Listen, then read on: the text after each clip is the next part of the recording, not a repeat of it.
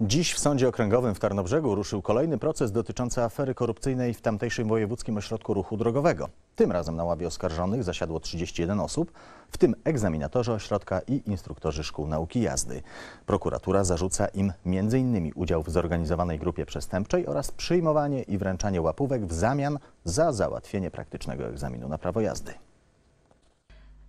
Na ławie oskarżonych zasiadło 31 osób. To egzaminatorzy Tarnobrzeskiego WORD-u, którzy mieli brać łapówki w zamian za załatwienie praktycznego egzaminu na prawo jazdy, instruktorzy szkół jazdy i inne osoby, które pośredniczyły w łapówkarskim procederze, wręczały pieniądze i powoływały się na wpływy w ośrodku. Wobec sześciu osób sąd warunkowo umorzył postępowanie. Jak ustalili śledczy, do rąk egzaminatorów trafiało średnio od 500 do 1000 zł. To kolejna odsłona afery korupcyjnej w Wojewódzkim Ośrodku Ruchu Drogowego w Tarnobrzegu.